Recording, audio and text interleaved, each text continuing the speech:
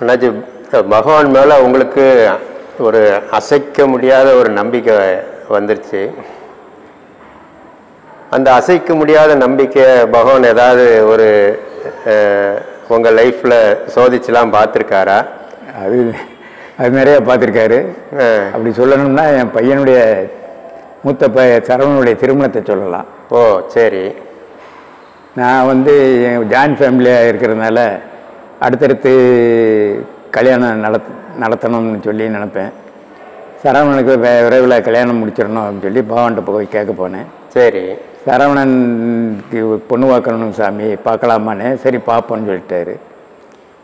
ஆனால் அவன் மறுநாள் அவன் வந்தேன். அவன்கிட்ட சரவணா உனக்கு கலை கல்யாணத்துக்கு அவசரமான்னு கேட்டேன். சாமியே அவர்கிட்ட ஆமா, கேட்டாரா? சாமியே.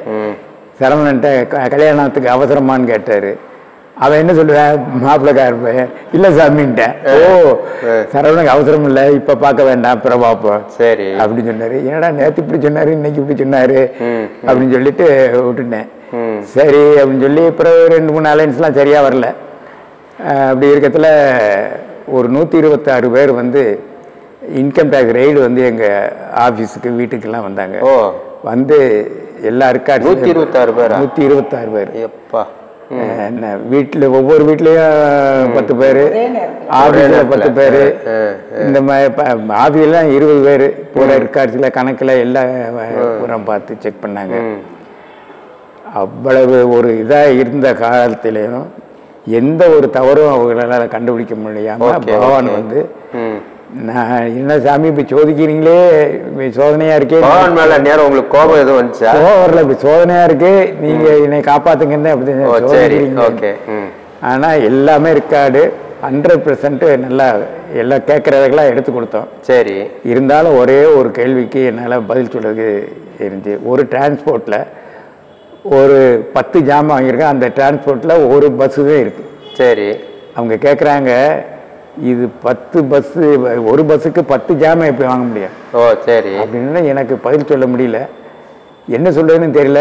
சாமி சரியான கேள்வி கேட்டிருக்காரு இது இவர் அப்படின்னு நான் சொன்னேன் இல்லை மற்ற கம்பெனிக்கெலாம் போட்டோம்னா அதில் செலவு குறையும்லன்னு அதை சொல்லாதீங்க நீங்கள் இந்த ஒரு கம்பெனிக்கு பத்து ஜாமானா நட்டம் தானே? இப்போ நட்ட கணக்கு தானே காட்டுறீங்க. அதுக்கு பதில் சொல்லுங்கன்னா எனக்கு ஒன்றும் சொல்ல முடியல. இந்த பாத்ரூம் வரைக்கும் போயிட்டு வரேன்னு சொல்லி சரி. பகவான் நினச்சிக்கிட்டே தான் பாத்ரூம் போனேன். ஏத்து ஒருத்தர் உங்கள்கிட்ட ஒரு ரெக்கார்டும் ஆப்பிடலை க்ளீனாக இருக்குது எதுலேயும் கையெழுத்து போடாதீங்கன்னு சொல்லிட்டு அவர் யாருன்னு தெரியல எவனுங்களும் சொல்லிட்டு போயிட்டாரு. நான் பழைய வந்து உட்கார்ந்த உடனே சாமி படத்தை தான் பார்த்தேன். இதுக்கு பதில் சொல்லுங்க நீங்கள் தான் பதில் சொல்லணும். அப்படிங்கிறதுல திடீர்னு ஒன்று இருந்துச்சு அவர்கிட்ட சொன்னேன் சார் ஒரு ஜாமான் வாங்கினா டிஸ்கவுண்ட் கிடையாது. சரி. ரெண்டு ஜாமான்னா அஞ்சு பர்சன்ட் கொடுப்பாங்க. சரி. மூணு ஜாமான்னா பத்து பர்சன்ட் ஆகும் இந்த மாதிரி பத்து ஜாமான் வாங்கினா எனக்கு நாற்பது பர்சன்ட் கிடைக்கும். சரி. நான் செலவை குறைச்சி லாபத்தை அதிகப்படுத்தி உங்களுக்கு வரி கட்டுறேன் சார். அப்படின்னு ஒன்று அவர் என்ன சார்? இந்த மாதிரி பதில சொல்லிட்டீங்க. நாங்கள் இதில் தான் ஆப்பிடுவீங்கன்னு நினைச்சோம். சரி இதுலேயும் தப்பிச்சிட்டீங்க அப்படின்னாரு. அது பகவானுடைய செயல் தான். சோதனையையும் வச்சாரு. சோதனையில் அவர் தான் பதில் கொடுத்தாரு. அந்த மாதிரி நாம் அதில் இருந்து பண்ணிட்டோம் இந்த சமயத்தில் எல்லாம் சரியாக இருக்குன்னு நினச்சிக்கிட்டு இருக்கு தான் பேங்க்குக்கு போனால் பேங்க் அக்கௌண்ட்ஸ் பூரா ஃப்ரீஸ் பண்ணி வச்சுருக்காங்க. எங்களுக்கு ரெண்டு நாள் கழிச்சு தெரியும்.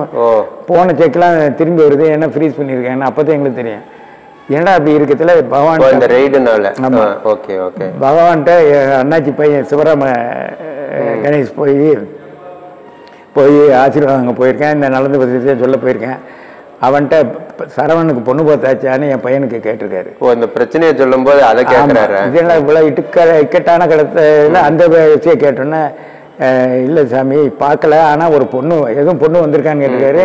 தேனியில் ஒரு பொண்ணு வந்துச்சு. நாங்கள் அப்படியே ஐடியாவில் இந்த பிரச்சனைனால பேசாமல் வச்சிருக்கோம்னா சரி. சரி அந்த பொண்ணை பார்ப்போம். பொண்ணு பேர் தெரியுமா? அப்பா பேருன்னு கேட்டோன்னே சிவராம கணேஷ் அப்பா பேரை சொல்லிட்டேன். அவ அந்த பொண்ணு பேரை அவ ஒய்ஃபு பிரியா வந்து காலேஜில் கூட படிச்சானா அவ பேர். சொல்லிட்டாங்க. சொன்னா அதை பார்ப்போம்னு சொல்லிட்டாரு. இந்த தகவல் கேட்டோன்னே நான் வந்து வேகமாக போய் சாமி கல்யாணம் சரி சொல்லிட்டாரு. நிலைமை இன்கம் டேக்ஸ் ரீடு நிலைமை இப்படி இருக்கு? ஆனா அந்த நிலைமை சாமிகிட்ட சிவராம் கணேஷ் சொல்லியிருக்காரு. நானும் போய் சொல்லிடுவோன்ட்டு போனேன் கல்யாணத்தை வையுங்கிறாரு. நான் சொன்னேன் சாமி மாப்பிள்ளை வீட்டுக்காரங்களாலும் பரவாயில்ல சாமி. பொண்ணு வீட்டுக்காரங்களுக்கு எங்களை விட மூணு பங்கு வேலை இருக்கும். முத நகை வாங்கணும் ஜவுளி வாங்கணும் எல்லாத்துக்கும் சொல்லணும் மண்டபம் பிடிக்கணும் சமையல் கலைஞர்களை பிடிக்கணும். இதெல்லாம் இந்த இவ்வளவு முப்பத்தி நாலு நாள் தான் இருக்கு. இந்த சித்திரை மாதத்துக்குள்ளே வையுங்கிறாரு. ஓ டேட்டும் சொல்லிட்டு ஆமா டேட் ரெண்டு டேட் நல்ல டேட் இருக்கு. இந்த டேட்ல ரெண்டுல எல்லாம் ஒண்ணு வையே அப்படிங்கிறாரு. இவ்வளவு பிரச்சனைக்குள்ள அதே நடத்துறாங்களா? என்னடா இப்படி சோதனையா இருக்கே அப்படின்னு நினைச்சு இல்ல சாமி. அப்படி இப்படி எப்படியோ டைம் வேணும் கூட கொஞ்சம் டைம் வேணும். அடுத்த முகூர்த்தம் சொல்லுங்கன்னு சொன்னா இவன் மெதுவா தொட்டு சாமி சொல்லிட்டாருன்னா ஒபே தான் பண்ணணும்.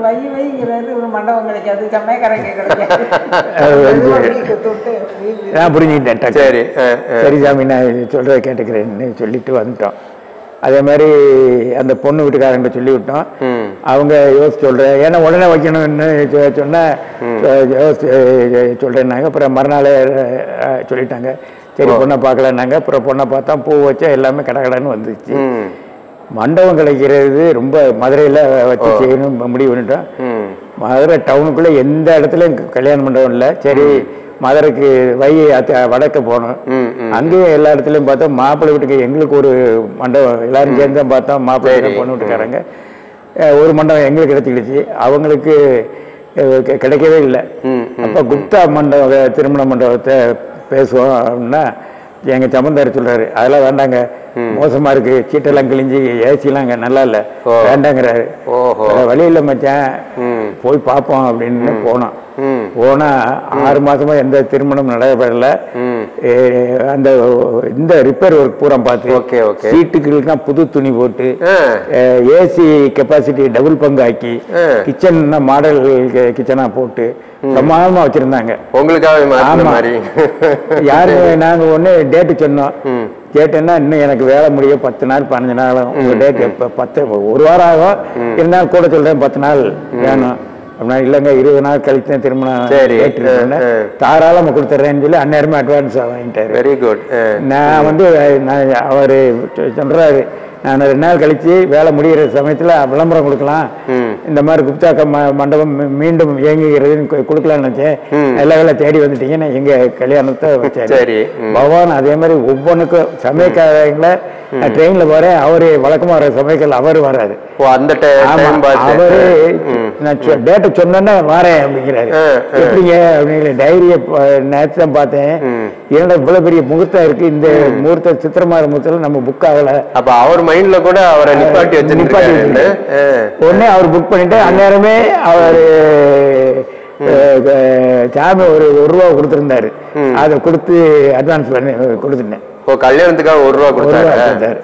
அது அது ஒரு பெரிய கதை.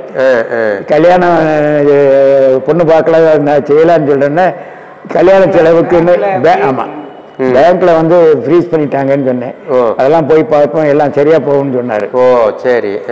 இந்த மாதிரி பணம் யார்கிட்ட வாங்குறதுன்னு தெரியாது சாமி. எல்லாமே அக்கௌண்ட் ஃப்ரீஸ் இருக்கு எல்லாமே அக்கௌண்ட்ல தான் இருக்கு. பிளாக் மணி என்கிட்ட கிடையாது அப்படின்னு சொன்ன உடனே எல்லாம் சரியா போகும்னு சொல்லிட்டாரு. சொல்லிட்டு பையில இருந்து ஒரு நூறுரூவாய் கொடுத்தாரு. பையனுக்கு இப்போ ஒரு ரெண்டு மாசம் மூணு மாசத்துக்கு முந்தி தான் கல்யாணம் இப்போ வேண்டாம்னு சொல்லி சொன்னாரு. இப்போ கல்யாணம் பண்ணலாம்னு சொன்ன உடனே சந்தோஷத்துல நான் சாமி போனவர் வெளியே வந்தேன். சாதுக்கெல்லாம் சுத்திக்கிட்டு ஒரு பத்து பேர் ஏதாவது தானம் பண்ணுங்கன்னாங்க. இந்த நூறுரூவா நோட்டை மறந்து போய் சாமி வந்து அந்த நூறு ரூபாய் வந்து கல்யாணத்துக்காக கல்யாணத்துக்கு செலவுக்காக வச்சுக்கேங்கன்னாரு. அப்படி சொல்லி கொடுத்தாங்களா? செலவுக்குன்னு சொல்லி கொடுக்குறாரு. ஓ ஓ. கொடுத்து அதை மறந்து போய் கொடுத்துட்டேன். சாதுகள் கொடுத்துட்டீங்க. கொடுத்துட்டேன். Okay okay. அப்புறம் மெட்ராஸுக்கு வேலை இருந்தேன்னா மெட்ராஸ் போயிட்டுனா அங்கே போய் நினைக்கிறேன் அந்த நூறுரூவா உள்ள வச்சிருந்தோமே எங்கேன்னு பார்த்தா காணும். என்ன காணமே என்ன செய்யறது அப்படின்னு எப்ப எப்படி இதை விட்டோம் அப்படின்னு யோசிச்ச பக்கத்துல சாதுகளுக்கு ஞாபகம் பலபடி திரும்பி வந்து. கொடுத்துட்டேன் அவங்கள வந்து பிரிச்சுக்கிட சொன்னேன். அதனால ஒருவேளை அவங்க வந்து அந்த ரூபாயை வந்து இதுல கொடுத்துருக்கலாம்.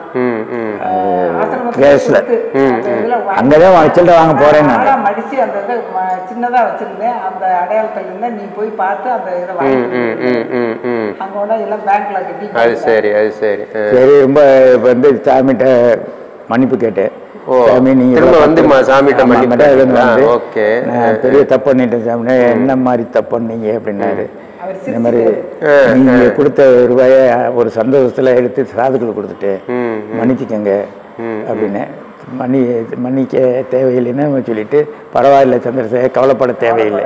தேவையில்லைன்னு சொல்லி இந்த பக்கம் ஜிப்பா தேடினாரு எங்களுக்கு தேடினாரு ஒன்றும் ரூபா எடுக்கலை. ம். கட்டில ரொம்ப மனசு உடஞ்சி போச்சு. என்னடா செய்யறது அப்படின்னு நினச்சி இருக்கிறதுல காலையில் தரிசனம் கொடுக்கல. ம். அஹ் மத்தியானமும் கொடுக்கல. ரொம்ப மனசு உடஞ்சி போச்சு. மத்தியானம் தரிசனமும் காரு ஆசிரமத்தை தாண்டி போயிடுச்சு போச்சுன்னு கண்ணீரில் அழிவ வருது. அப்புறம் மணி சார் ஒடியாராரு ஓ சரி. சந்திரசேகர் உங்களை கூப்பிட்றான்னு சாமி கூப்பிடுறாங்கன்னு வந்தாரா. பழைய ஒரு ஒரு ரூபாய் எடுத்து கொடுத்து. இதை பத்திரமா கல்யாண செலவுக்கு வச்சுக்கிடுவோம். சரி. ஒரு ரூபா ம், ம், அந்த இது அந்த சமையல்கார்ட்ட கொடுத்தோம் கல்யாணம் நல்ல முறை நடந்தது.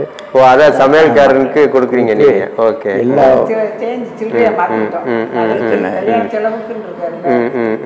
அப்புறம் ஓ, ஓ. கொஞ்சம் கொஞ்சம் சரி சரி சரி. அப்புறம் பேங்க் ரூபா எடுக்கணுமே. போய் சாமி எல்லாம் போய் கேட்போம். சரியாக இருப்பணும் முத போய் கேட்குறோம்.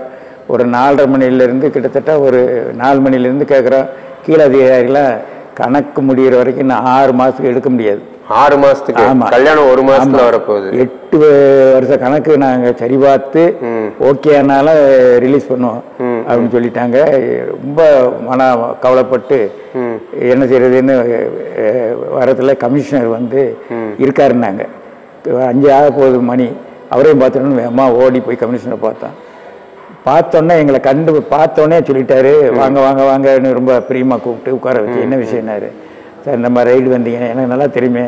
ஆனால் என் பையன் கல்யாணம் வச்சிருக்கேன்னு கண்ணீர் வந்துருச்சு. ஓ. ஃப்ரீஸ் பண்ணி வச்சுருக்காங்க. பேங்க்கில் ஒரு ரூபா எடுக்கல. என்கிட்ட எங்கிட்ட வேறு வேறு ரூபாயும் கிடையாது. அப்படின்னு ஒன்று ஃப்ரீஸ் பண்ணாங்களா? அது எதுக்கு ஃப்ரீஸ் பண்ணாங்க. உங்கள்கிட்ட தான் எல்லாமே நல்லா இருந்துச்சு. ரெக்கார்டெல்லாம் நல்லா இருந்துச்சு. கூப்பிடுங்க அவங்கள எல்லா ஜூனியர் ஆஃபீஸரும் கூப்பிட்டு. சரி. அப்பா உங்க கணக்கில் என்னப்பா தப்பு இருந்துச்சு? ஒன்றும் இல்லைல்லப்பா ம். ரிலீஸ் பண்ணி கொடுங்க நான் கால் மணி நேரம் வெயிட் பண்ணுறேன் அப்படின்னு சொல்லி அஞ்சு மணிக்கு மேலே அவர் வெயிட் பண்ணி அஞ்சு அஞ்சு அஞ்சரை மணிக்கு தான் ஆர்டர்லாம் அடித்து கொண்டு வந்தாங்க. எங்களுக்கு டீ வாங்கி அவ்வளோ மரியாதை கொடுத்து பணமெல்லாம் திரும்பி வந்துச்சு. அந்த மாதிரி பகவான் ஒவ்வொரு. கல்யாணமும் நல்ல முறையில் முடிஞ்சு என் பையனுக்கு இருந்துச்சு நம்மளை சோதிக்க செய்வாரு. அவர் கூட நின்று நம்ம அதை நிறைவேற்றி எல்லாத்தையும் சக்சஸாக நிறைவேற்றி கொடுப்பார் என்று கூறுகிறேன். நம்பிக்கைக்கு அவர் கை விடுறதில்லைன்றது மாதிரி இந்த சம்பவம் ரொம்ப அருமையான ஒரு சம்பவமாகவே இருந்தது